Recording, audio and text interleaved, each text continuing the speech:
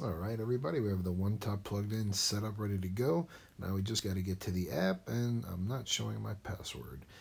So we get to the app, click on the icon.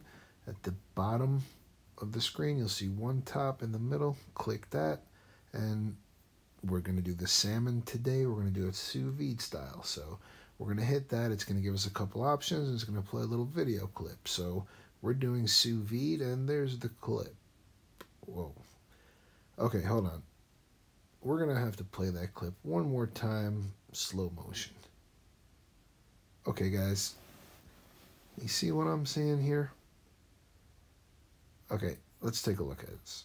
Now, this is sous vide salmon, straight, right out once it's done cooking, and that's what it's going to look like. Now, for me, sous vide is great because it gives you the perfect internal temperature. But other than that, it's not giving you much. It's not going to give you, other than the seasonings you put in the bag, it's not giving you much after that. So, in my opinion, I don't really do the sous vide method because it does take a while, but it guarantees perfect cooking and you don't have to sit and watch it. So that's what's great about it. But as far as flavor, that's why I don't really use it. It doesn't give you a real depth of flavor. I like a nice sear, but it's hard to get that internal temperature seared. So what I'm thinking, let's do a double method. Let's sous vide it, and then once it's done, we don't want to cook it too well, and we don't want a really, really flaky fish, because once it's done, we're going to take that out, and we're going to get a really, I want to blacken it, so we're going to blacken this, which is like a really, really high heat sear on each side. And um, to me, I think that's going to yield the best product. A perfectly cooked in internal temperature fish and a great flavor from the blackening and texture as well. So that's what we're going to do.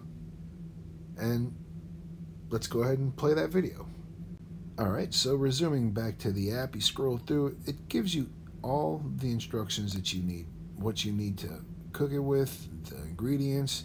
So we're going to go to rare because again, we're going to cook it a little under to what, you know, I really want it to, and then we're going to sear it on high heat, so it's going to cook a little more. So we're going to hit that rare setting, and now it's just going to tell us, hey, fill the pot with water, plug in the thermometer, and you're good to go. So right there, I hit the app and actually found it. So now it's going to tell me, hey, we got to hit that little button. So there it is. Hit the little button to start the one top cooking. While you hit the button, I'm sorry, while the water is heating, it tells you to prep everything. So um, I didn't put the water in the pot yet, so we're going to go ahead and put the water in the pot. As you can see, it's already, the probe thermometer, it's already starting to heat up, so we'll get that water in there. And then, again, it says to fill it about two-thirds of the way up. And now we're going to do just a quick little prep work. We're going to cut these lemons. We're going to just lightly salt and pepper the fish. Now we're just going to lightly salt and pepper the fish because, again, I want to blacken this, and that's going to give you all the flavor you need. So we're going to get done with that. And what now you put the lemons and everything in the bag. You don't want to do this too far in advance because the acid from the lemon, the lemons will cook your fish. So, you know, we're just gonna bag up the fish. I'm gonna throw a lemon on each side, and um, I'm gonna put some olive oil in one, and I'm gonna do one without olive oil. I just want to see the difference, if any. Excuse me. Now, it's really important to make sure that you get all the air out of this bag because you want it submerged in the water so where it doesn't float up. So we have everything bagged up, all the air is out of the bag, and now, you know, we're just waiting for it to get up to temp. I don't think you're supposed to put it in until it reaches temp, so right now it's really close, and we're just to hit fast forward to where it does reach temperature, and now we're to put the fish in the bag. We're going to use little binder clips for the side and submerge it. Now make sure, once again, just get all that air out of the bag and you shouldn't have a problem keeping it submerged underwater. You want all the fish submerged underwater. So I'm just going to clip both of them in. And there you go, no problem. It took me, you know, you know, I think two tries on one of the bags to get all of the water out because it kept floating to the top. So that is a step that you definitely want to do. And now that's it. I mean, the, it's up to temperature and it's giving you a timer, 40 minutes.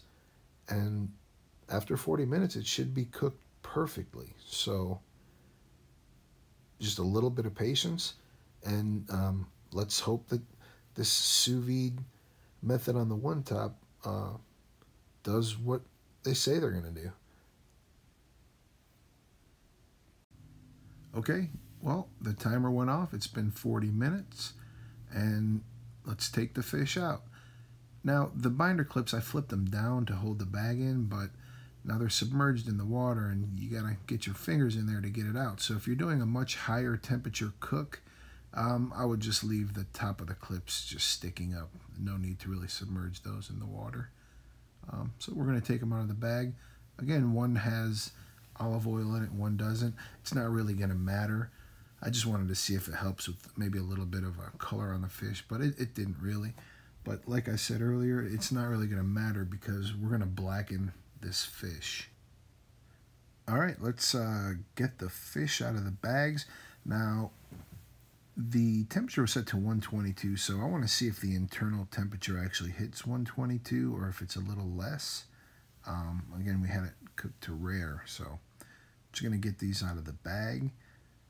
Uh, now I'm hoping that it doesn't, it's not too flaky to where it fall apart to where there's no way we can do this blackening, but it seems seems to be pretty good.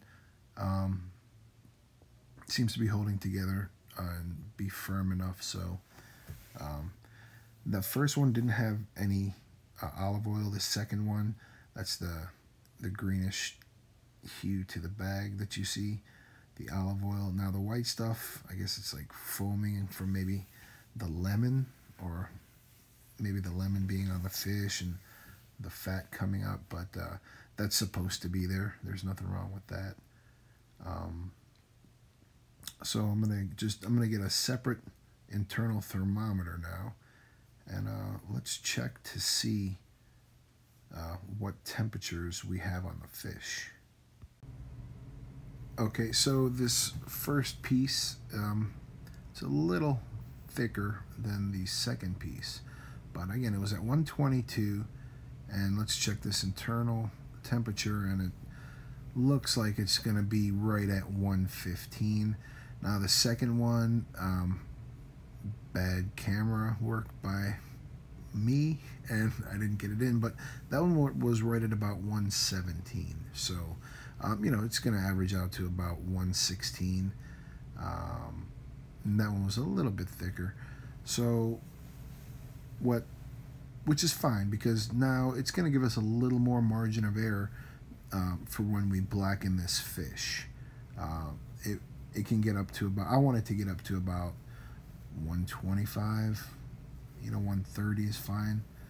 Okay, so I have my cast iron and we're going to put some oil in it, but stop.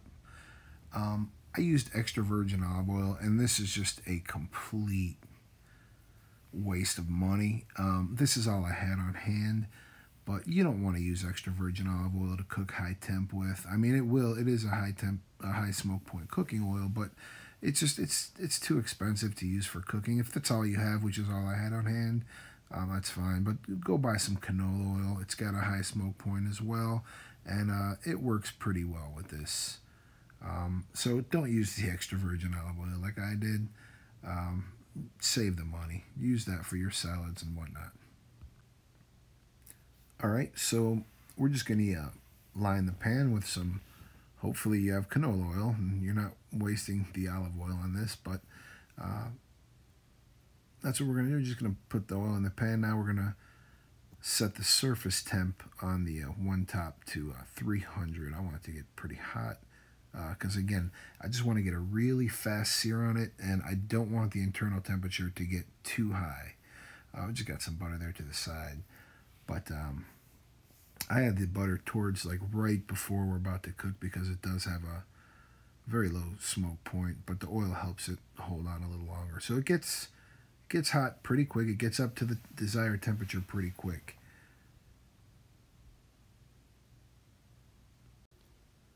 All right, so you know the temperatures it's right up to close to where we want it. I'm just blackening the fish right now, and uh, I just throw a little pat of butter right towards the end, and because it does have a really high smoke temp, so you don't want to put it in too early. Um, so again, I use uh, Paul Prudhomme's uh, the blackening. Uh, to me, it's the most flavorful. Um, so now it's starting to get a little. You see, it's sizzling. So we're getting the good color on there, and you can see the difference. I mean, from that just pink look to what it looks like now, it just looks better. You know, it's, it's so much more flavorful. Um, so, and as you can see, the fish didn't fall apart, and 130 was like the target. 136, that's a smaller piece. So far, to me, looks like everything is perfect. Okay, so now it's out of the pan, and now you see how this was the one that was actually 136. So uh, this would this to me this is perfect. 136 is perfect. 130 is great, but look how flaky that is, and you can see how moist the fish is inside. Uh, still, um, it just flakes apart. You see those layers? That's what you want. Folks, I got to be honest with you. This mm, tastes perfect. If you have a limited space, say you have an efficiency or something like that that you live in and you like to cook, this one top, it's going to be pretty versatile. I mean, you can do whatever you want with it. And uh, I'm going to do some more recipes. I'll try out some more recipes. Um, so right now the sous vide, I like it. It came out perfect. If I would have set it to medium and you don't like the blackening or you don't like the sear, I enjoy that. Uh, actually, I prefer doing that with a mahi, but uh, I just had salmon today. So I mean, I think this is a great, great tool or appliance if you have a small space that you live in, small kitchen, and let's say you don't want to use so many pots and pans. Uh, I think this is great because, like I said, I use that cast iron enamel pot. I sous vide in it. It came out to right, right at rare, and I like it right at 135 medium, medium rare and uh, it came out perfect. Uh, I just, you could have sauteed it. You take the fish out of the pot and empty the water out, dry it out, throw a little oil, uh, high smoke temp oil, get it really hot, throw a little bit of butter in there right towards the end, just so it can get some a little more flavor. Blacken your fish and just sear it on both sides. Maybe 30 seconds each side, maybe depending on how, how, how hot you get the pan, you're really not going to need to sear it for long at all because it's already cooked. You're just getting that nice crisp sear on the outside. Get that blackening seasoning or whatever seasoning you want. Get it nice to stick on it. And you got yourself a high-end restaurant quality cooked piece of fish. Very easily done and with a very large margin of error. It's it's going to be hard to mess that up. I, would say the only way you can mess it up is if you sear it for too long. Uh, but like I said, 30 seconds each side. Uh, let it release automatically. Don't rip it off the pan. It should release once it gets hot enough, and the pan's going to be super hot. You want the pan to be super hot. Cast iron would be the best. So, um, thanks, guys. I hope. Uh, that you enjoyed this video. Again, if you have any anything you want me to try cook on this, if I can do it, I will. Just leave a comment below, like the video, and uh, so far so good with the one top tasty induction oven, smart cooktop. And uh, the sous vide method seems to work good. I will try a steak with it as well. So stay tuned for that one. Thanks, guys.